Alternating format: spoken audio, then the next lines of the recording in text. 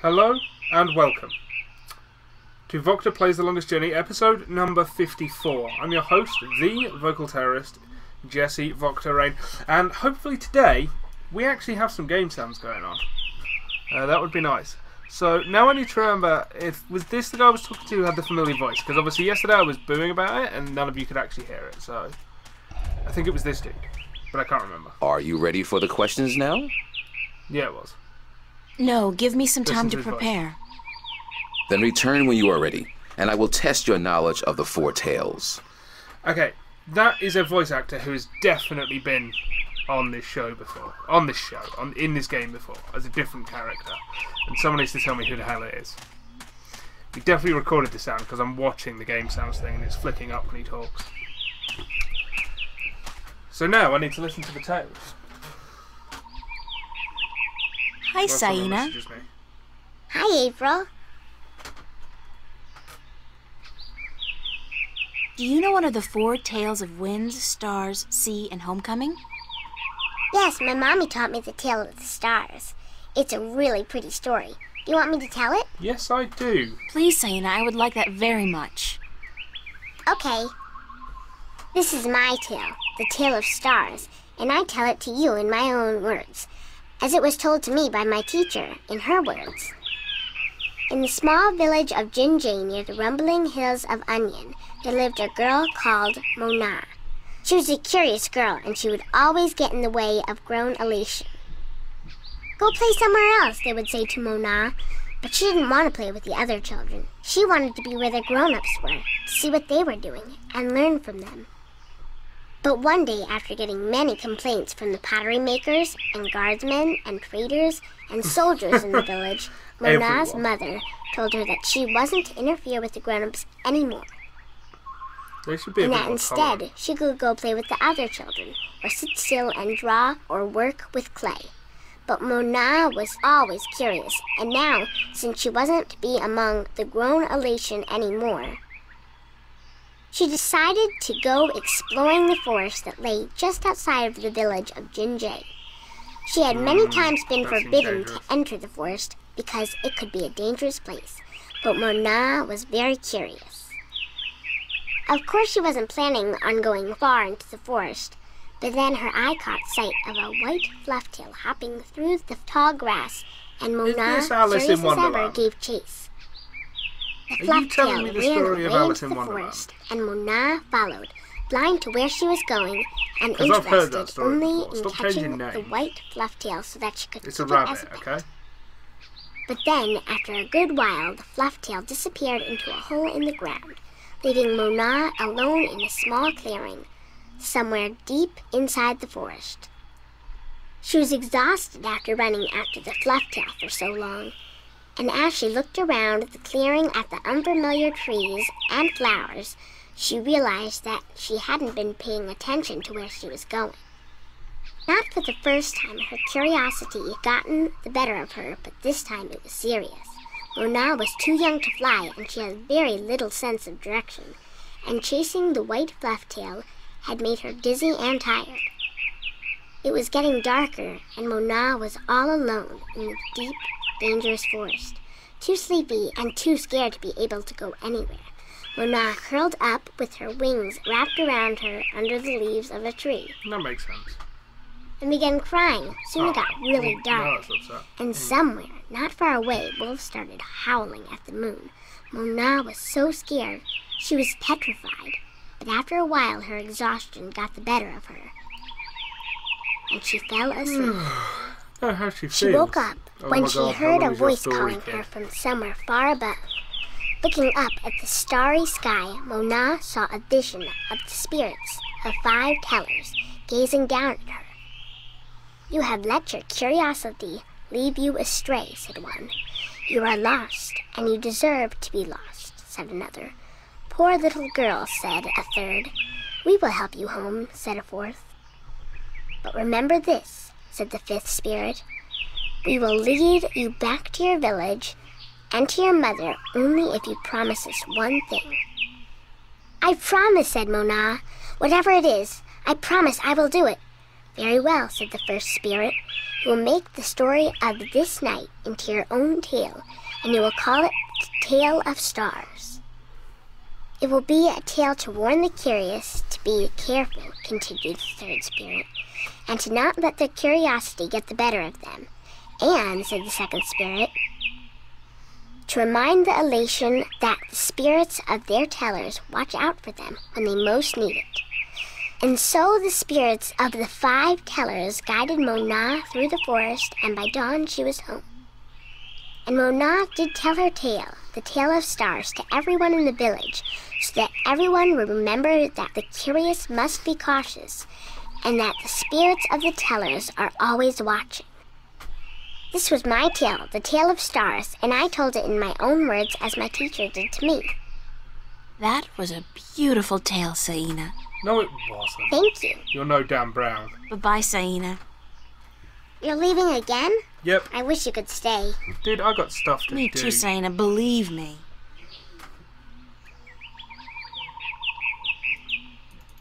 Okay. That's two stories.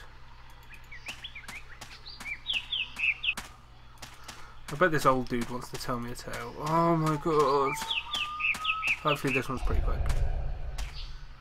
Do you know one of the four tales of winds, stars, sea, and homecoming? Mine is the tale of sea, human. Okay, I'm I'm just Would you mind nap telling it to me? while you tell me it, okay? Is that I cool? would be happy to do so. This is the tale of sea, told in my own words, as it was told to me by my teacher in his words, and to him by his teacher in his words. Oh, I hope there's explosions. This was a very, very long time ago, when the Alatien were a strong people, and we could spend days riding the hot winds above the seas.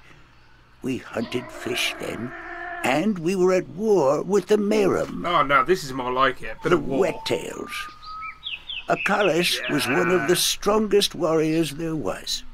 His claws were sharp and long, his beak pointy, and his teeth strong.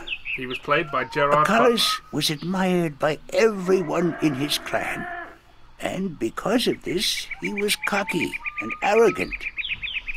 So one day, the teller of Akalis city asked him to perform a very important and very special duty to bring a sacred jewel to the teller of an Alatien town across the sea.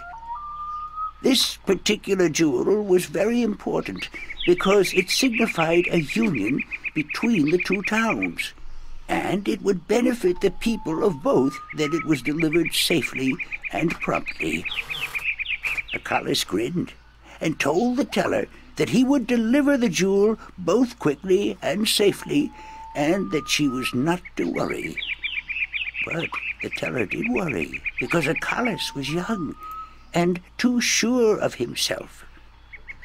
But she wanted to test him and to teach him that sharp claws, a pointy beak, and strong teeth are not all a warrior needs. That a warrior must also be wise and careful. So Akalis set out across the sea This is on his flight. It was on No, the fourth day that he but it is a good spotted something in the water that caught his attention. And forgetting his duty and following his curiosity, means you forgot the other tale. Forgot the dived stars. towards the water to investigate.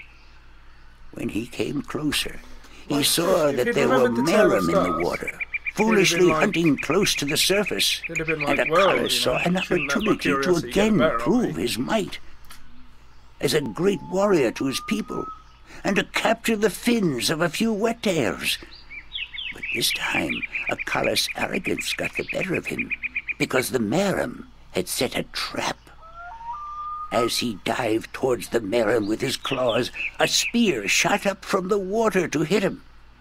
Akalis struck the water and dropped the jewel he was carrying, and it was all he could do not to drown. Akalis was bleeding, and the Maerum were grabbing onto his wings and his legs, but he fought bravely, and finally he managed to escape. But even though he now lived, he was dead inside.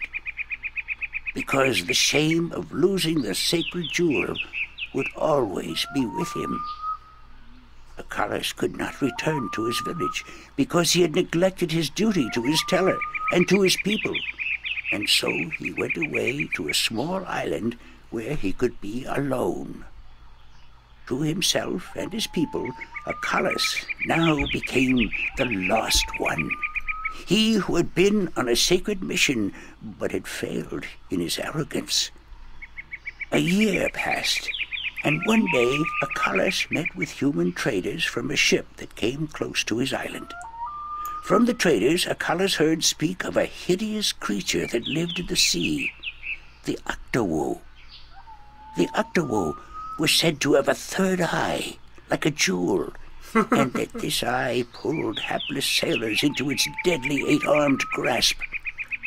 Acalus knew immediately oh, that the Octowoe's third eye had to be the jewel that he lost in the sea a year ago, Really? and he now saw the I think maybe he was a opportunity to redeem himself. But Alatien were not used to water, and the thought of submerging himself in the cold, harsh ocean chilled Acalus to his heart. But he was the lost one, and if in his death he could at the very least redeem himself, to his own heart then it would be worth it. So Acalus fashioned himself a spear, because in the water his claws and his beak would be too slow, and he flew out to where the Octowoe was last seen. And then Acalus dived into the sea. The dark water closed in on him, and his wings and legs went numb. But still Acalus kept pushing down until he saw the lair of the Octowoe. Spotting Acalus, the Octowoe attacked, and Acalus saw the monster's third eye, his sacred jewel, shining bright in the darkness. And his heart was filled with a sense of duty had three courage Like, that he had never felt before. Then he'd have As he died for began fighting the eight-armed monster, Acalus realized that if he were to fight like he usually did, he would not stand a chance. He would have to think differently. And so Acalus tricked the Octowoe into following him through a tight chasm where the monster got stuck. And then he swam above it, and using his spear, tipped a rock on top of the Octowoe. Nice. Swimming back down again, the Octowoe was flailing helplessly. Now, almost out of air, Acalus took the sacred jewel from the Octowoe's head and swam back up. Finally, Acalus could deliver the sacred jewel to the town across the sea.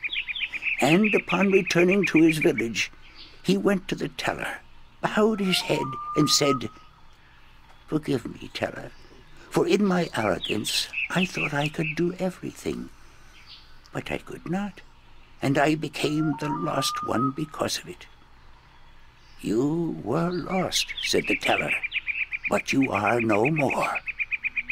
Because now you see the limits of your own strength, and you will know that a warrior must be careful and wise, in addition to being strong and fierce. Not that I want to criticise. This was the tale of Couldn't sea. you have told him that before And he I went told it in my own words, as told to me alone by my an island teacher. And probably went crazy. And then killed an octopus. Also, Maggie, you lied to me. These stories take forever. Maggie was all like, oh no, the stories aren't that long. You'll probably get through them. Do you know one of the four tales of winds, stars, sea, and homecoming? Mine is the tale of winds, Windbringer. Do you wish to hear it? Yeah, go on then. It's the last Very one. much. then I shall tell it. I'm just tired. This is the tale of winds, my tale. Did another speedrun I of Super pledge to tell it in my own and then some words, as told in turn by And my then I play teacher. guitar. In the village of Karan, in the mountains of tall winds, there lived a young Alatien woman But I can named play Ioana. like the C scale now. Ioana which is had one like a- desire Oh, above beep, all others beep. to soar higher and farther than anyone else. And even though her wings were no broader, nor her body sleeker than anyone else's, she pursued this foolish desire without rest. And as time passed, she did soar higher, and she did fly farther than the other young Alatien in her village. and her name became known far and wide amongst the tribes of the mountains of tall winds. But cool. still, Iwana was not happy. She was not happy because, in her vanity, even though she was a better flyer than almost everyone else, and to her eyes, she was still not good enough. That doesn't sound like She vanity. wanted to be so much better than anyone else that she would be remembered for all time as the best flyer amongst all the Alatien. Well, it's good to have a goal. And so You one know, you day, gotta have a dream and stuff. Iwana decided to climb to the top of Mount Bakta'ana, the Tower of Light, and to soar from those giddy heights to the ends of the world. Her friends and her family pleaded with her not to, because every Alatien knew that to soar from such heights was dangerous. That at such heights the air was thin and the winds treacherous. But Iwana would not listen. You gotta take And on a cold and clear morning, she climbed up the Tower of Light to the rock and the ice at the very top. From there, she could see to the ends of the world. And it brought tears to her eyes to know that now, finally, she would be greater and better than any Alatien before her. And so, Iwana spread her wings and leaped off the mountain. Those who watched her from far below said that for a split moment Iwana soared, and she soared higher and farther than any Alatien before or since. But then the treacherous winds caught a hold of her, Oh no. and the thin air made her plummet towards the ground and to fall to her death amongst the rocks at the base of the mountain. In her vanity, story, man. Iwana could not see beyond her desire to be the very best. And vanity always stands to fall. Sounds to me That was the tale of like what you're saying to tale, me and I told like it in my moral own of the words, story is, as told to me in don't turn try and be better than everyone teacher. else because you'll die. That's not a good story. You're supposed to be telling people that they can be the best and they, they should just apply themselves and stuff. That's an awful story. I don't like your story, mister. Not a fan of that at all. Right, I've heard the bloody stories now. Now can I go in? Are you ready for the questions now? Whose voice are you? Yes, ask me the questions. In the Tale of Winds, which mountain did Iwana fall from in her vain attempt to fly higher and further than anyone else? Mount Bakta'ana, the Tower of Light. That is correct. In the Tale of Stars, Uh, what did five Mona tellers. see in the sky that Five helped her tellers. That's not find her way name of the home? The five tellers. The spirits of five tellers. That is correct. In the Tale of Sea, what creature did the Lost One battle in his quest to recover the sacred jewel? Magic octopus. The Octawo? That is correct. My final question to you is this. In the tale of homecoming, what was given to Moran by his teller when he returned from his pilgrimage? A broken pot to teach him yeah, that yeah, absence all the may break a questions heart in right. two. I'm like, I'm like You have than when he correctly answered Pokemon. all my questions, and so have proven your knowledge of the four tales. You are the Windbringer. Yes, I The am. teller would see you presently. You shouldn't doubt me. Right. That is unfortunately it for t- is it? Is that it for today? It is, isn't it? Dang. Well, tomorrow, hopefully, um, I'll be talking to the teller and reuniting the Alatien people with the Maerum, and then after that, I uh, I get the stone, and I can move on to go getting the third stone. So you know, slowly getting there, uh, slowly recatching up with Maggie uh, after she marathon played last night to make sure she was nicely ahead of me before I started recording again today. Did I save the game? Did I? Did I? I did now. Anyway, guys, as always, thank you very much for watching, and I'll be back tomorrow with more VocTer Plays The Longest Journey.